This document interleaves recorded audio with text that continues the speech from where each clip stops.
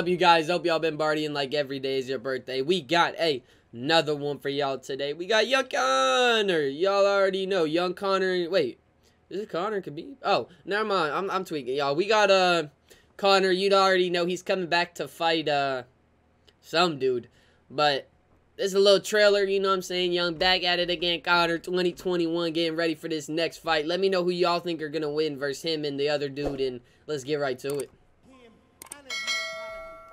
Hold on, hold on, hold on, hold on, hold on, hold on, hold on, hold on. Give a fuck about him. These things happen. I learn, I grow. I took a chance, came away. It didn't work out. Um, it is what it is. I'll, I'll face it like a man, like a champion, and come back and do it again. I'm living the whatever the fuck I want life. That's the life I live. Whatever I want, whenever I want. Yes, I sir. Through hard work, through sacrifice, and that's it. Through through victory.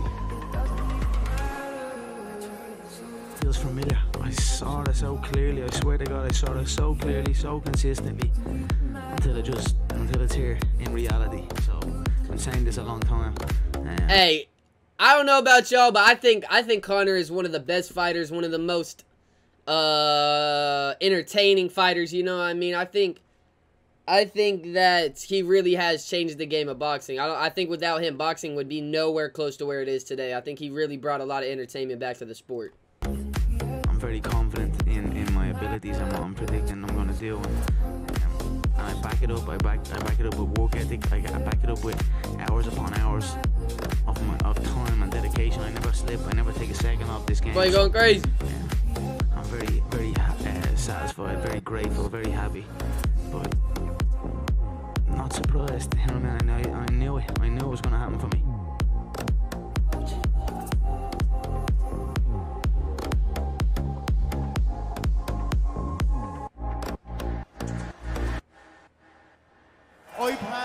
Knocking that man's nose straight into the nosebleeds. That's what's going to happen on Saturday night.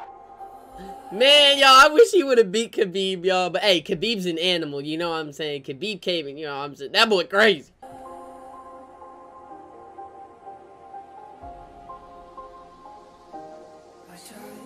Every single one of them keep keep talking about the talk. Keep saying this guy's all talk, he's over the camera. But never once in your life will you hear them talk about the skill or the technique because they know I own that.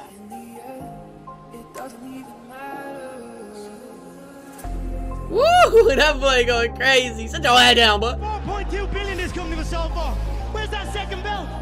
Go backstage and grab that belt somewhere. we built this damn town. I'm saying serious. We built this city. Now we're back. Now we're coming to claim what's ours. So it's an honor to be here. Coming in here, listening to all these fans. It truly is a dream come true. I Hey! can't wait to perform for you.